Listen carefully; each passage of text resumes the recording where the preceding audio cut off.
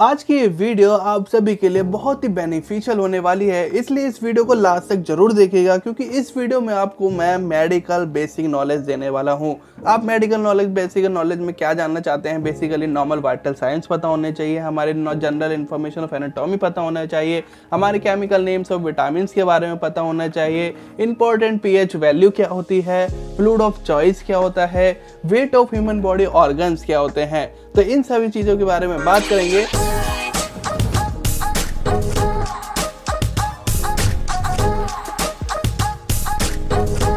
करेंगे तो आइए शुरू करते हैं। नंबर वाइट साइंस में हमारे सबसे पहले बात करते हैं हम टेम्परेचर की। हमारा जो टेम्परेचर होता है वो 37 डिग्री सेल्सियस से लेके और अगर फेरेनहाइट में देखा जाए तो 98.6 होता है। पल्स रेट जो देखी जाए तो वो 72 बीट्स होती है पर मिनट्स में।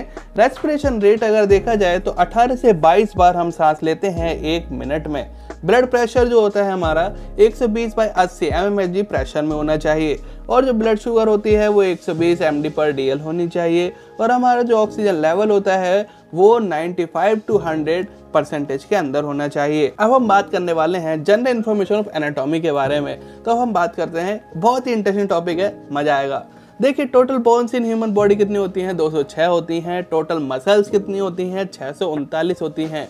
रिवर ऑफ़ लाइफ क्या होता है? हमारा ब्लड होता है। लार्जेस्ट ऑर्गन क्या है? हमारा स्किन और लार्जेस्ट ग्लैंड कौन सी होती है? वो हमारी लिवर है। लार्जेस्ट आर्टरी क्या है? एओटा है। स्मॉलेस्ट मसल क्या है? स्टेपेडियम, जो हमारे कान की होती है। और लार्जेस्ट पार्ट ऑफ़ ब्रेन क्या होता है? सेरिबम लार्जेस्ट एंडोक्राइन ग्लैंड क्या होती है? हमारी थायराइड होती है। स्मॉलेस्ट सेल कौन सी होती है? वो हमारा मेल स्पाम होता है। और लार्जेस्ट सेल कौन सी होती है? वो हमारी फीमेल ओवा होती है। नंबर्स ऑफ़ पंप हमारे हार्ट में कितने होते हैं?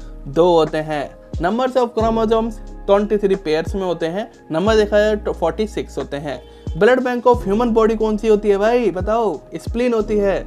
लाइफ स्पान ऑफ़ आरबीसी 120 दिन का होता है। डब्ल्यूबीसी का लाइफ स्पान 10 से 15 दिन का होता है। तो अब हम बात करने वाले हैं केमिकल नेम्स ऑफ़ विटामिन के बारे में। देखिए विटामिन ए जो होता है, वो रेटिनॉल होता है, हमारी आँखों के लिए होता है। विटामिन सी क्या होता है? एस्कॉर्बिक एसिड होता है। विटामिन डी क्या होता है? कैल्सीफेरोल जो हमारे कैल्शियम के बारे में बताता है विटामिन ई e जो होता है टेकोफेरॉल होता है विटामिन के होता है फाइलोक्वानिन विटामिन बी वन जो होता है थायोमाइन होता है विटामिन बी टू जो होता है राइबोफ्लेवम होता है विटामिन बी थ्री जो होता है नायोसाइन होता है विटामिन बी फाइव जो होता है पेंटोथैनिक एसिड होता है विटामिन बी सिक्स जो होता है पायरोडीन होता है विटामिन बी सेवन जो होता है बायोटीन होता है हमारे हेयर्स के लिए और विटामिन बी नाइन होता है फोलिका के लिए और विटामिन बी ट्वेल्व जो होता है साइनेकोबेलिमान के लिए होता है। ये हमारे सारे विटामिन हैं। अब हम बात करते हैं हमारे इंपॉर्टेंट पीएच वैल्यूज़ के बारे में। PH value means basically acidic values. तो हमारे ब्लड का पीएच कितना होता है? 7.4 होता है।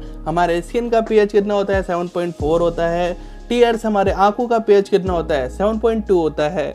हमारा सलाइवा जो हमारे मुँह के अंदर जो लार होती है, उसका पीएच कितना होता है? 6.3 होता है 6.3 से 6.7 तक। और अगर यूरिन के पीएच की बात करा जाए तो वो 4.4 से 8 तक होता है।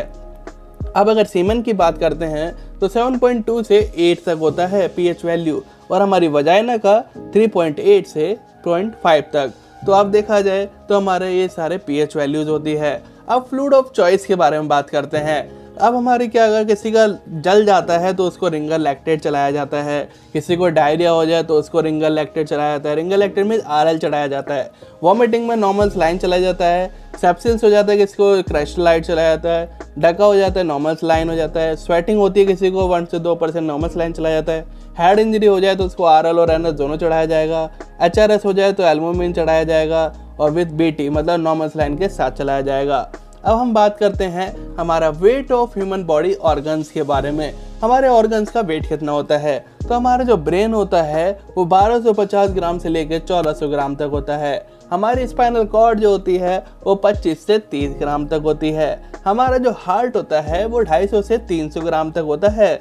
और हमारा जो लेफ़्ट लंग होता है, वो 325 से 425 ग्राम तक होता है। और हमारा जो राइट लंग होता है, वो साढ़े तीन सौ साढ़े चार ग्राम का होता है। और जो हमारा लेवर होता है वो 1500 से 1800 ग्राम का होता है। और जो हमारा स्प्लिन होता है वो 125 से 180 ग्राम तक होता है। और अगर देखा जाए तो हमारी एक किडनी 125 से 150 ग्राम तक होती है। और हमारा जो प्रोस्टेट होता है वो 15 से 30 ग्राम तक होता है। और जो हमारा यूट्रस होता है वो 100 से 115 ग्राम का होता है। स्टोमक है वो 150 से 200 ग्राम तक होता है। और हमारे एक टेस्टिस 22 से 25 ग्राम का होता है। और हमारी एक ओवरी पाँच से सात ग्राम की होती है।